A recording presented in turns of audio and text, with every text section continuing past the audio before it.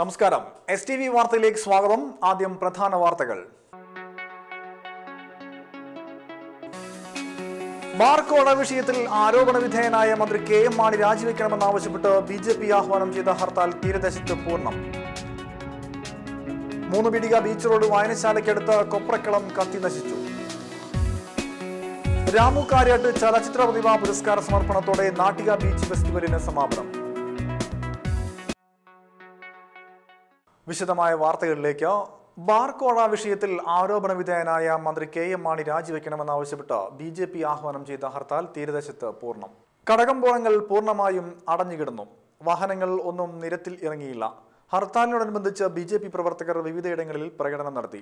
B J P Edathiruthi panchayat കമ്മിറ്റിയുടെ ആഭിമുഖ്യത്തിൽ പ്രകടനം നടത്തി. B J P panchayat committee general secretary Jyothi തേവർഘാട്ടിൽ P K Vijayan K M Mahesh Ayush എന്നിവർ നേതൃത്വം നൽകി. Oommen Chandy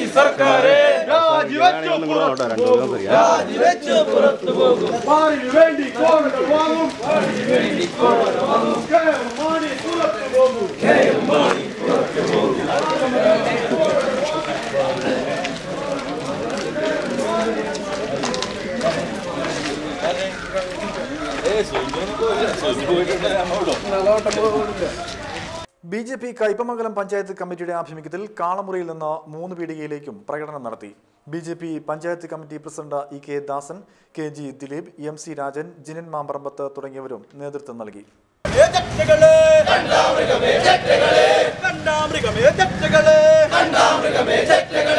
ജയ് ബോലോ ജയ് ബോലോ ജയ് ബോലോ ജയ് ബോലോ ജയ് ബോലോ ജയ് ബിജെപി ജയ് ബോലോ ജയ് ബിജെപി ജയ് ബോലോ ജയ് ഭാരത് മാതാ ജയ് ബോലോ ജയ് ബീച്ച് റോഡ് വായനശാലയ്ക്കടുത്ത് കൊപ്രക്കളം കത്തി നശിച്ചു.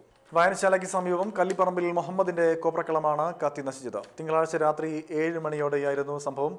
കൊപ്ര ഉണക്കുന്നതിന് ഇവിടെ തീയിട്ടിരുന്നു.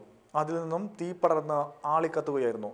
തുടർന്ന് നാട്ടുകാർ തീ അണയ്ക്കാൻ ശ്രമിച്ചെങ്കിലും അണയ്ക്കാനായില്ല. പിന്നീട് ഇരിങ്ങാലക്കുടയിൽ നിന്നും ഫയർഫോഴ്സ് എത്തി തീ അണയ്ക്കുകയായിരുന്നു. ഏകദേശം ഒരു ലക്ഷം രൂപയുടെ നഷ്ടമുള്ളതായി ഉടമ പറഞ്ഞു.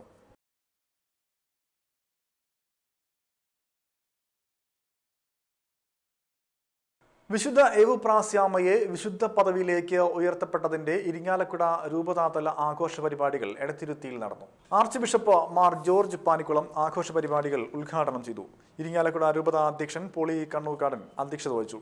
തൃശൂർ അതിരൂപതാമെത്രാൻ ആൻഡ്രൂസ് താഴത്ത് അനുഗ്രഹ പ്രഭാഷണം നടത്തി. M പിമാരായ C N Jayadevan Innocent doctor Paul Achandy father Walter Thelappilly sister സാങ്ട M L എമാരായ advocate V S Sunilkumar Thomas Unniyadan B D Devassy professor C Raveendranath തുടങ്ങിയവരും സംസാരിച്ചു. ഉയർത്തപ്പെട്ട നവോത്ഥാന നായകനായിട്ടുള്ള ആത്മീയതയുടെയും അറിവിന്റെയും അനശ്വരമായ വെളിച്ചം പകർന്നു തന്ന ചാവറയച്ഛനും സന്യസ്തരുടെ മധ്യസ്ഥയുമായ പ്രാർത്ഥനയുടെ അമ്മ എവിപ്രാസിയമ്മയും ഭാരത ക്രൈസ്തവ സഭയുടെ പ്രകാശം പകരുന്ന ദീപങ്ങളാണ്. സഹനത്തിന്റെ ആത്മീയത പകർന്നു തന്ന അൽഫോൻസമ്മയും ചാവറയച്ചനും നമ്മുടെ സ്വന്തമായ യുപ്രാസിയമ്മയും ചേർന്ന് നമ്മുടെ സീറോ മലബാർ സഭയിൽ മൂന്ന് വിശുദ്ധരായി. അവർണനീയമായി ദാനത്തെ പ്രതി ദൈവമേ അങ്ങേക്ക് സ്തുതി.